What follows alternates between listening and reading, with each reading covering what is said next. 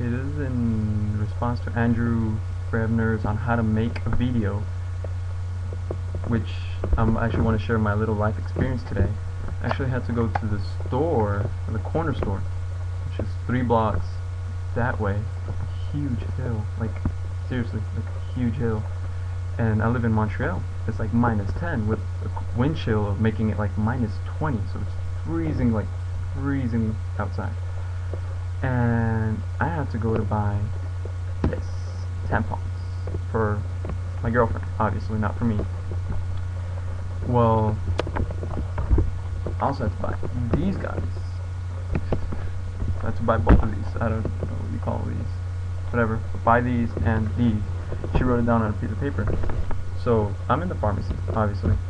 I didn't want to ask where they were, so I just kind of like went through every aisle, finally found them. And then like I'm over here on like this side of the aisle, and there's like some people over here checking out like it's like a couple. They were like had a kid and everything. They were buying diapers, and they were looking at me like I didn't know what I was doing, and I obviously didn't know what I was doing because some of you may not know, some of you do. Montreal is first language is French, second language is English, and the third language unofficially will be Spanish pretty soon anyways. Um, but yes, if you try to read, it's French, and I'm originally from the U.S., so I don't know French. Sucks for me, right? The only like words it says is amazing comfort. Yeah, it doesn't say much. So yeah, I finally found those, and apparently I got these wrong, because they come in like a huge variety, like lots, a lot of them. Like too many, actually. And they come scented. Many of you may not know.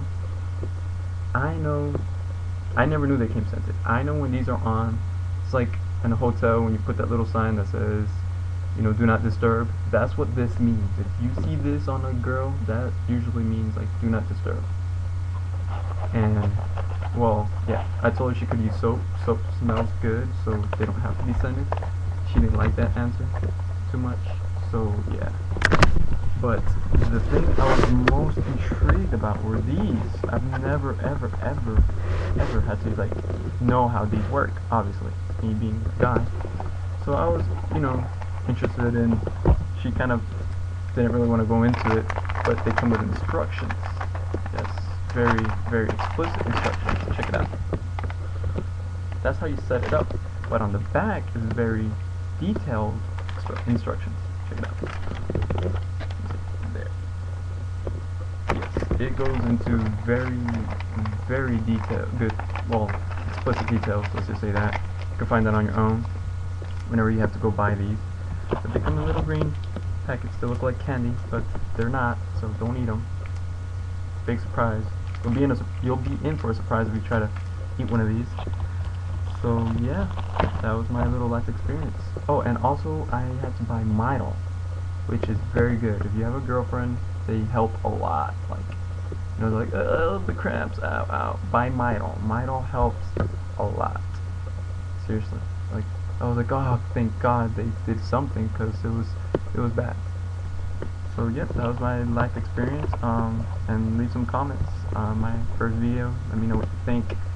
Anything I need to change, good, bad, etc., etc. All right, thanks.